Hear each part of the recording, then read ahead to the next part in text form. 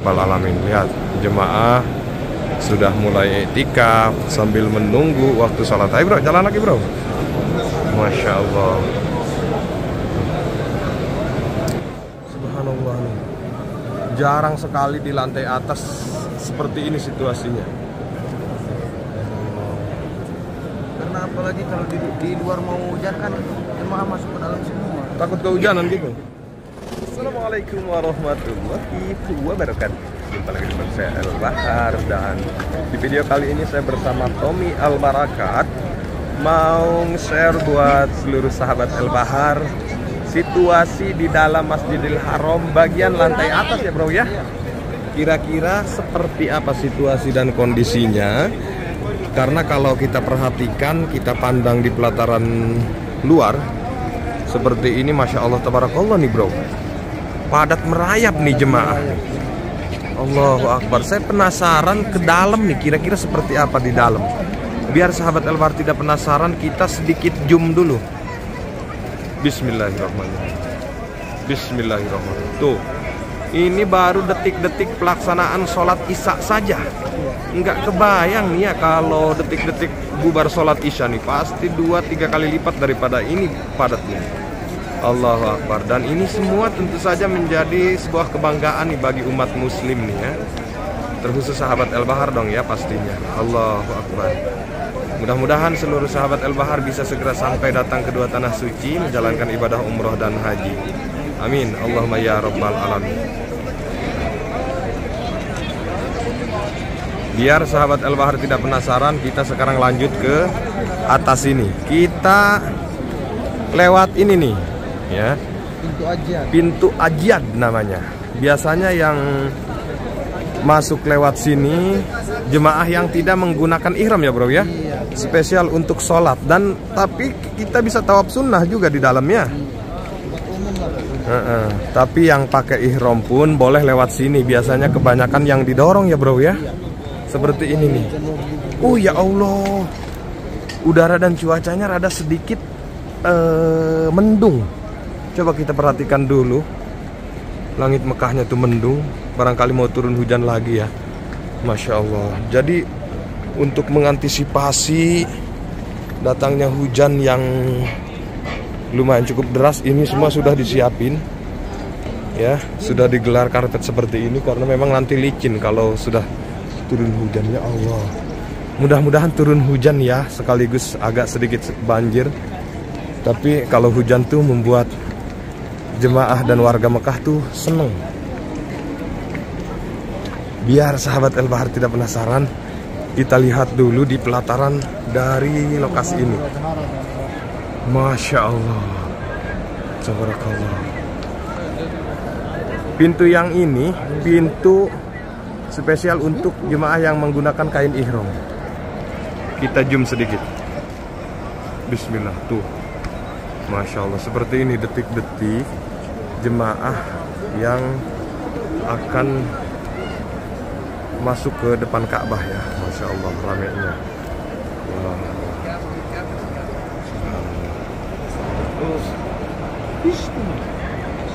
Bagaimana menurut komentar sahabat Al-Bahar melihat situasi seperti ini? Detik-detik pelaksanaan sholat Isya. Allah Akbar Sekali lagi udara dan cuacanya nih mendung, mudah-mudahan turun hujan. Amin ya rabbal alamin. Ayo bro, lanjut bro. Kita lanjut ke lantai atas nih, penasaran saya. Kacau, karena kalau di lantai bawah nih pasti sudah full nih bro. Sudah di rooftop juga sudah full. Hmm. Rooftop itu lantai paling atas ya? Lantai paling atas. Ini juga mungkin kita dialihkan ke lantai atas lagi mungkin. Kemungkinan besar nih.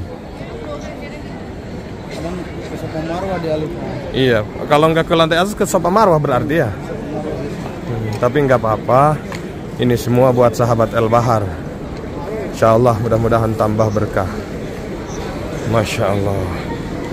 Bismillahirrahmanirrahim. Allahumma anta salam wa minka salam wa ilaika yaudu salam wa inna rabbana bisalam tadgin jannata wa salam tabarakta rabbana wa ta'alaita. Ya dal jalali wal ikram. Tapi jemaah yang duduk santai di tempat itu tuh nggak apa-apa ya bro ya? Tuh. nggak apa-apa. Ya Allah. Sekarang kita sudah sampai di uh, tempat tawaf lantai dua. Ini situasi dan kondisinya nih. Langsung kita disambut dengan ya salam. Tuh rame ya. Nggak kebayang nih di lantai di depan Ka'bah ya. Pasti rapat banget, Bro. Tuh. Allah Akbar. Kita ke sebelah sini, Bro. Iya. Jalan pelan-pelan ke sebelah sini nih. Karena Ikutin arus uh, tawaf. eh, arus jemaah yang sedang tawaf ya. Karena kalau berdiri terlalu lama kayaknya nggak boleh juga dan menghalangi juga ya. Untuk sub depan ini sudah penuh ya. Sudah penuh dan ini pasti ke sini nih. Oh ya Allah, coba pelan-pelan ke depan sini bro, biar sahabat El Bahar melihat situasinya. Tuh, lihat lantai lantai saf depan atau barisan depan tuh sudah seperti ini. Seluruhnya tuh tempat tawaf bagian depan tuh sudah full. Ya salam. Tuh. Ada juga bahkan yang masih berdiri mencari lokasi yang kosong dan ini Ka'bahnya. Nih, Ya, saya doakan sekali lagi buat sahabat El Bahar mudah-mudahan bisa segera sampai ke tempat ini. Amin ya rabbal alamin. Lihat jemaah sudah mulai etikaf sambil menunggu waktu sholat. Ayo bro, jalan lagi bro. Masya Allah.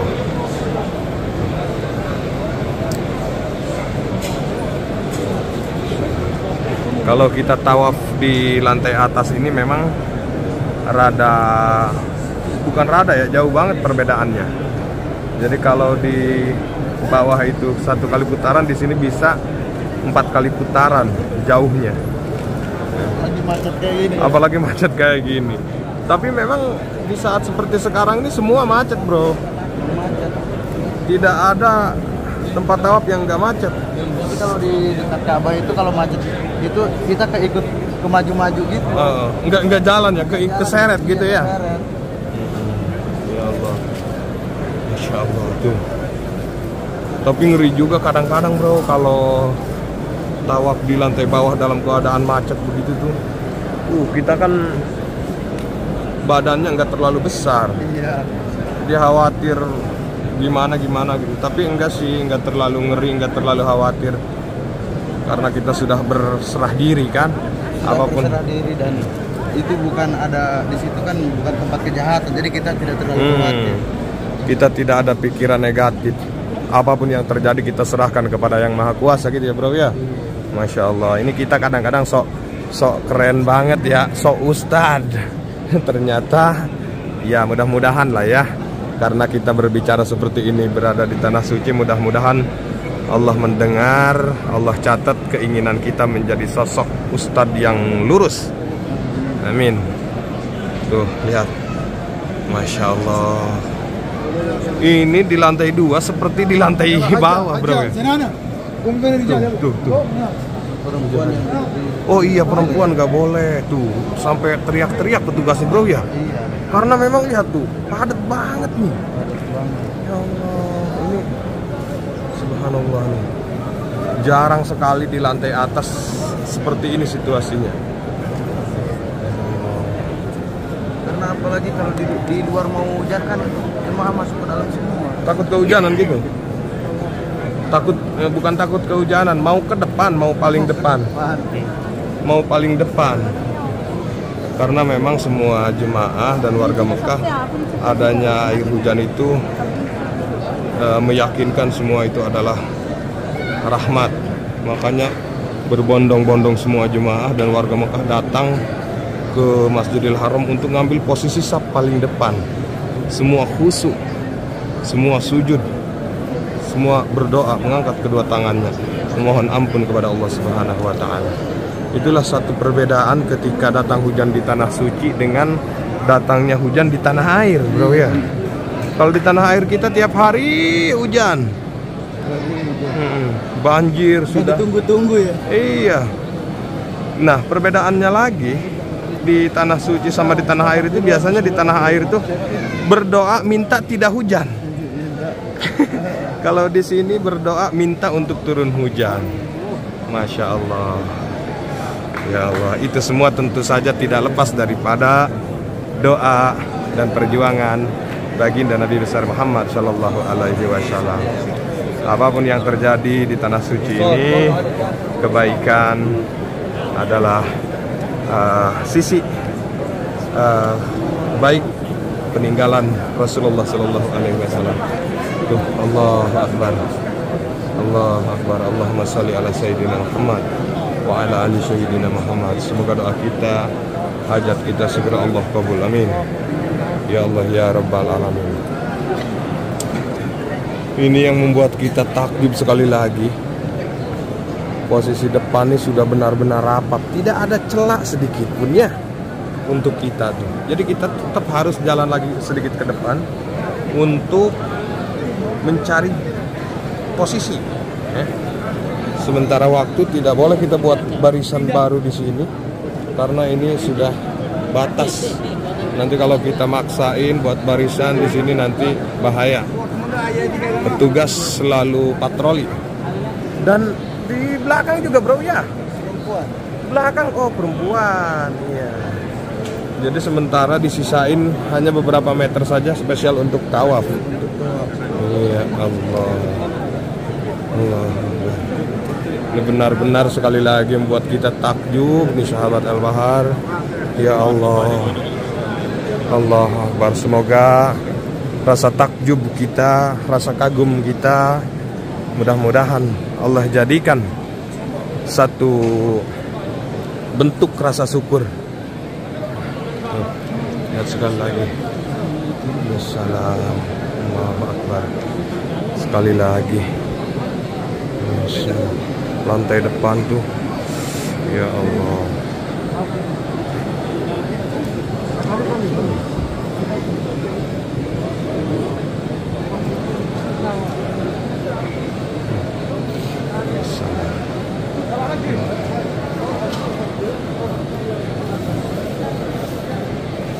Di sini kita harus belakang.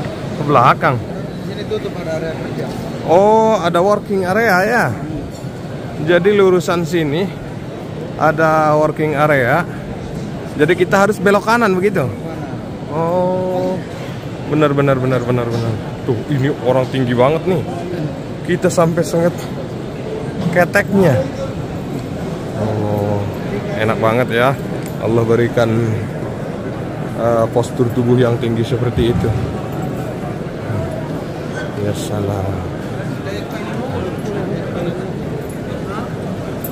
Iya bener nih ada working area di sini jadi kita harus belok kanan ya bro ya. Kira-kira ke sebelah sana juga macet gak nih? Pastinya ya. Karena memang ini detik waktu yang seharusnya macet. Meskipun memang di Masjidil Haram ini bukan hal yang aneh kalau ada macet seperti ini. Tapi kalau kita bandingkan di saat kemarin ada musibah nih, ini menjadi momentum yang paling menakjubkan bagi semua orang. Terkhusus saya di sini dan Tommy Al Barakat, tentu saja sahabat El Bahar juga ya di mana pun berada. Nah, sementara waktu ini kita harus berbelok arah, bro ya. Karena ada working area di sebelah kiri kanannya. Tuh lihat ke atasnya tuh.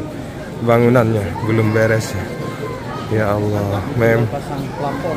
Mm-mm. memang pembangunan perbaikan di Masjidil Haram ini enggak ada henti-hentinya. Terus dilakukan untuk kebaikan kenyamanan semua jemaah tentu saja. Belakang tempat sholat ibu-ibu. Ya Allah, Allahumma sholli ala Sayyidina Muhammad wa ala ali Sayyidina Muhammad. Semoga hajat kita, doa kita segera Allah kabul dan baiklah sahabat Al Bahar di sisi lain pun kita harus siap-siap juga ngambil posisi untuk berjamaah sholat isya di Masjidil Haram. Jadi harus kita akhiri video ini. Jangan lupa mampir ke channel Tommy Al Barakat, like, komen dan subscribe. Kita berdua di sini pamit undur diri. Sampai jumpa di video berikutnya. Assalamualaikum warahmatullahi wabarakatuh. Bye bye.